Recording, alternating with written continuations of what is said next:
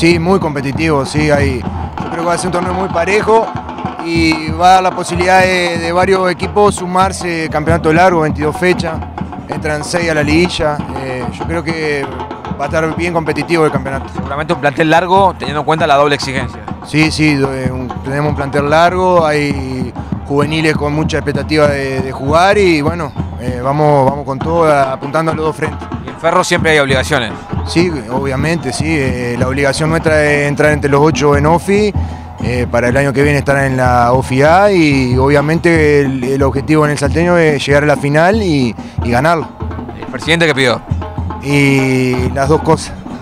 No es fácil, ¿no? No, no es fácil, ¿no? Pero bueno, el trabajo de todos los días, eh, tratar de sortear los obstáculos que se presenten y bueno, y mantenerlo unido, que ese es, es lo más importante.